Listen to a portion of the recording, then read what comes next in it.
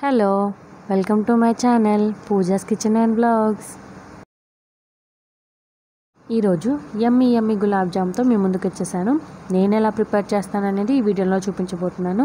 Miss అవ్వకుండా పూర్తిగా video చూసేయండి.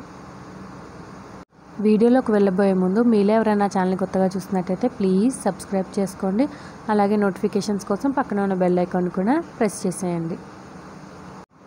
ముందుగా నేను బౌల్ తీసుకొని అందులో ఈ ఇన్స్టెంట్ గులాబ్ జామున్ మిక్స్ని యాడ్ చేసుకుంటున్నాను.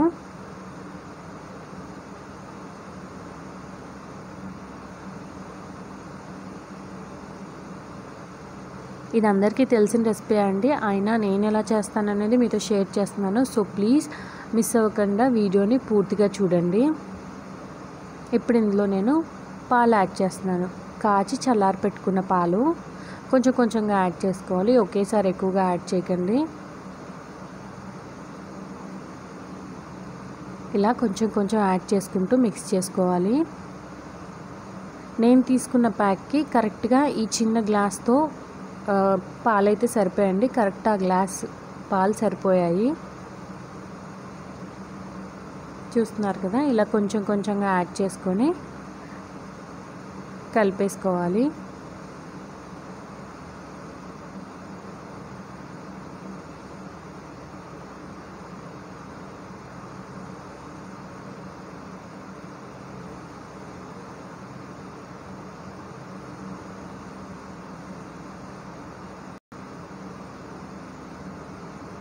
ఇప్పుడు ఇదంతా ఒకసారి పూర్తిగా మిక్స్ చేసేసుకొని ఒక ఫైవ్ మినిట్స్ పక్కన పెట్టేసుకోవాలి.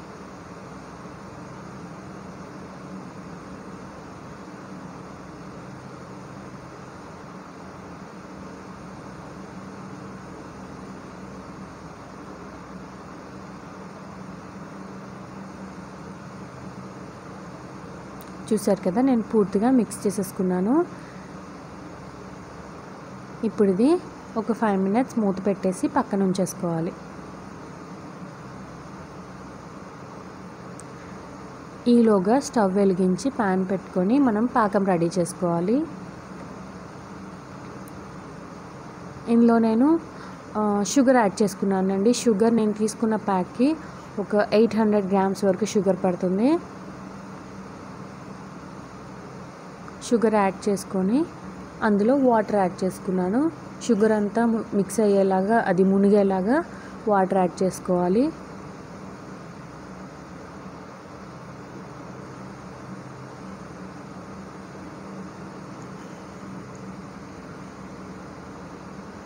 అలాగే కొద్దిగా యాలకుల పొల యాడ్ చేసుకున్నాను.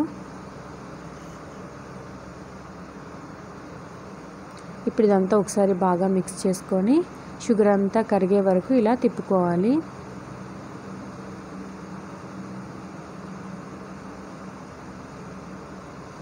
చూస్తున్నారు కదా ఇలా బాయిల్ అయిపోయింది. ఇది పాకం రావాల్సిన అవసరం లేదండి. షుగర్ అంతా బాగా మిక్స్ అయిన తర్వాత ఒక టెన్ మినిట్స్ వరకు అలా సిమ్లో ఉంచుకొని పెట్టుకుంటే అది పాకం కొద్దిగా చిక్కబడితే సరిపోతుంది.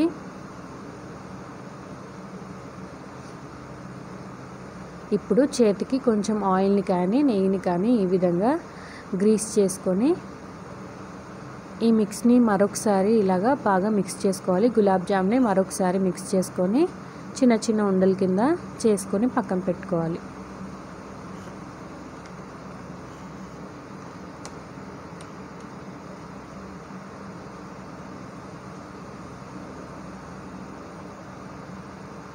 సో చూస్తున్నారు కదా మీకు కావాల్సిన సైజులో చేసుకోవచ్చు. ఇలా క్రాక్స్ ఏమీ లేకుండా సాఫ్ట్గా ప్రిపేర్ చేసుకొని పక్కన పెట్టుకోవాలి.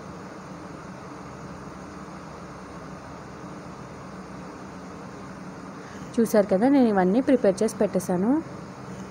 పాకం అయితే రెడీ అయిపోయింది. ఇది పక్కన పెట్టేసుకొని మరోవైపు స్టవ్ వెలిగించి కడాయి పెట్టుకొని అందులో ఆయిల్ యాడ్ చేసుకోవాలి. ఆయిల్ని కానీ గీని కానీ యాడ్ చేసుకోవచ్చండి. నేను ఆయిల్ యాడ్ చేశాను. ఆయిల్ కొంచెం వేడెక్కిన తర్వాత ఇందులో మనం రెడీ చేసి పెట్టుకున్న గులాబ్ జామున్స్ యాడ్ చేసుకోవాలి. ఒకేసారి ఎక్కువ యాడ్ చేసుకోకూడదండి. ఒక త్రీ ఫోర్ అలా కొంచెం కొంచెంగా యాడ్ చేసుకుంటూ ఫ్రై చేసుకోవాలి. అలాగే స్టవ్ని హై ఫ్లేమ్లో కూడా పెట్టకూడదు. అలా పెడితే పైనంతా మాడిపోతుంది లోపల పిండి అలాగే ఉంటుంది. సో మీడియం టు లో ఫ్లేమ్లో ఉంచుకొని కొంచెం కొంచెం బాల్స్ యాడ్ చేసుకుంటూ ఫ్రై చేసుకోవాలి.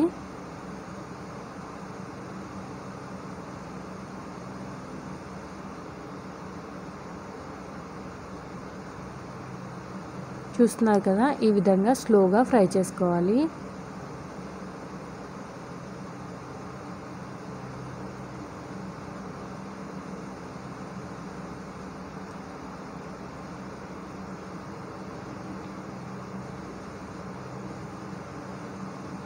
మధ్య మధ్యలో మిక్స్ చేసుకుంటూ జాగ్రత్తగా ఫ్రై చేసుకోవాలి.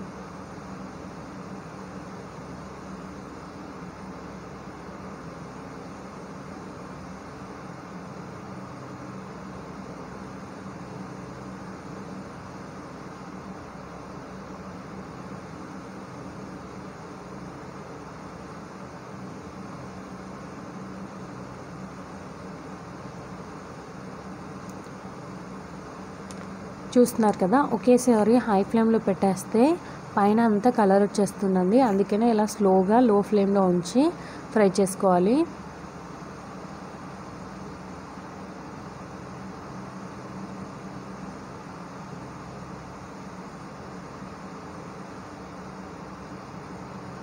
చూసారు కదా కలర్ చేంజ్ అయిపోయినాయి. ఇలా డార్క్ కలర్లో చేంజ్ అయిన తర్వాత పక్కనే ఉన్న పాకంలోకి ట్రాన్స్ఫర్ చేసుకోవాలి. పాకం మరీ వేడిగా ఉండొద్దండి. కొంచెం గోరువెచ్చగా ఉంటే సరిపోతుంది. ఇవి ఒకసారి అందులో యాడ్ చేసుకొని ఇలా డిప్ చేసుకుంటే పాకాన్ని బాగా అబ్జర్వ్ చేసుకుంటాయి. ఇప్పుడు మరికొన్ని గులాబ్ జామున్స్ కూడా ఇదే విధంగా ఫ్రై చేసేసుకోవాలి. చూసారు కదా? అన్నీ రెడీ అయిపోయినాయి. ఇది ఎక్కువ గరిటతో తిప్పకూడదండి. బ్రేక్ అయిపోతాయి. సో జస్ట్ ఇలాగా ఇలా మూవ్ చేసుకుంటే సరిపోతుంది. ఒక చూసారు కదా ఇవాళ వీడియో మీకు నచ్చినట్టయితే ప్లీజ్ లైక్ షేర్ కమెంట్ చేయండి. అలాగే సబ్స్క్రైబ్ చేసుకోవడం మాత్రం మర్చిపోవద్దు. Thank you so much for watching the video.